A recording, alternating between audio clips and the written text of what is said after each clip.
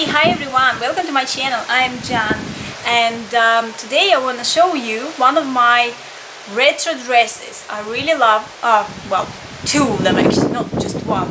Uh, well, the summer is here and you probably know that um, this summer uh, the main, the super fashionable trend is stripes. So I was thinking about it and uh, I've got some stripy clothes but I was looking at my mom's wardrobe and I found two super cool retro dresses and they are stripy. This is the one of them.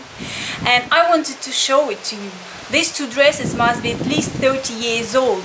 Uh, my mom was wearing them I believe she was wearing them in the 70s so and they're stripy and they're super cool and I think they're super fashionable this summer. So because it's going to be stripy summer. Woo!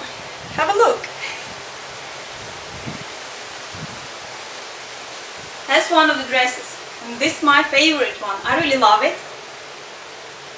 It has blue and white stripes. And uh, yeah, that's one of my favorites.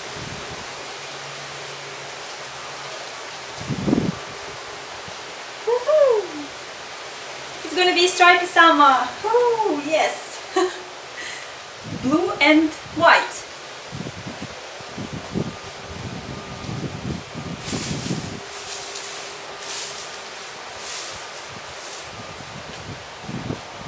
Okay, now I'm gonna get changed to show you the other dress.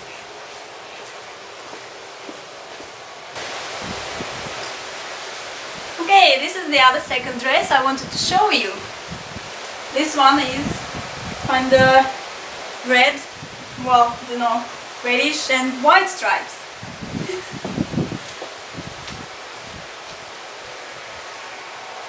this one also is probably over 30 years old that dress.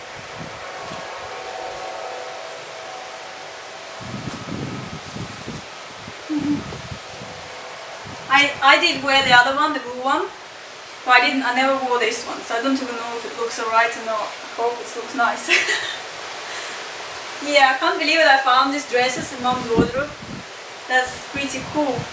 So, I hope you enjoyed my video, so enjoy the stripy summer. Woo! Stripy summer this year, 2013. You don't have to go and buy, you maybe need to dig deeper in your mom's closet or your grandmother's. And you might find something like this, you never know. Okay, thank you for watching guys, I hope you enjoyed it. My stripy dresses, I call them my stripy retro dresses. And uh, thank you for watching and I hope to see you later. Subscribe and goodbye!